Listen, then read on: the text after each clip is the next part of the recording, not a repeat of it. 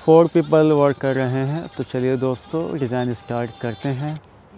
तो ये हमारे सामने डिज़ाइंस आ चुकी है और इसके ऊपर हम वर्क करने वाले हैं। स्टेप बाय स्टेप मैं आपको बताने वाला हूँ कैसे डिज़ाइंस बनाएँगे हम। तो देख सकते हैं, ये बैक एंड फ्रंट है, इसके ऊपर डिज़ाइंस की जा रही है, जो क्रिस्टल और भी जो वर्क किया जाएगा। मैं आपको इस डिज़ाइंस में मटेरियल्स भी बताऊँगा, जो हमने क्या क्या यूज़ किया है। कमेंट में आ, हमारे जो सब्सक्राइबर में पूछें कि आप किस तरीके से डिज़ाइंस करते हैं। तो दोस्तों मैं इसी वीडियोस में आपको बताऊँगा। देख सकते हैं और ये जो करदाने की लाइन लग रही है वो सिल्वर करदाना है और इसके ऊपर जो हमने क्रिस्टल यूज़ करना है और मैं आपको वो क्रिस्टल भी दिखाऊँगा और कौन सा ग्लू गन इस्तेमाल करता हूँ मैं वो आपको दिखाऊँगा। कई लोगों ने हमें कमेंट भी किया कि आप कौन सा ग्लू इस्तेमाल करते हैं। इस वीडियोस में मैं आपको ग्लू भी दिखा दूँगा।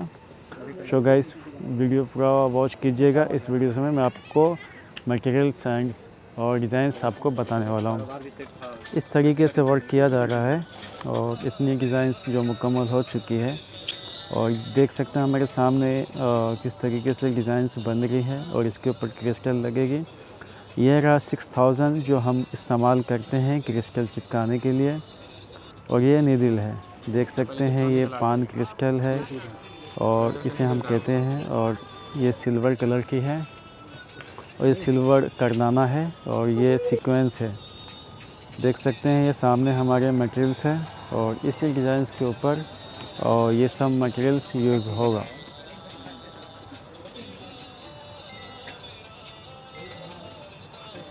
और भी जो डिज़ाइंस की जो मुकम्मल ट्रेस है वो आपको देखनी है तो वीडियो के लिंक में और प्रोफ़ाइल में जाकर आप चेक कर सकते हैं। वहाँ से आपको जो मुकम्मल ट्रेस है वो देखने को मिल जाएगी।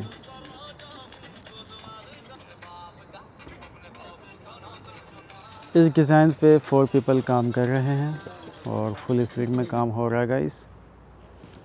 ये है सीक्वेंस जो हम निदिल के अंदर डालते हैं, step by step, one by one. जब ये निदिल में पूरा फुल हो जाएगा, फिर आप देख सकते हैं यहाँ वन बाई वन, और ये स्केचिंग हो रही है। देखें, मैं आपको जूम करके दिखा रहा हूँ। ऐसा। और आपको ऐसे स्केचिंग करना है और उसको जो है पक्का करना है, ताकि वो नीचे का जो धागा है इसको कट करेंगे तो बाद में खुलेगा नहीं।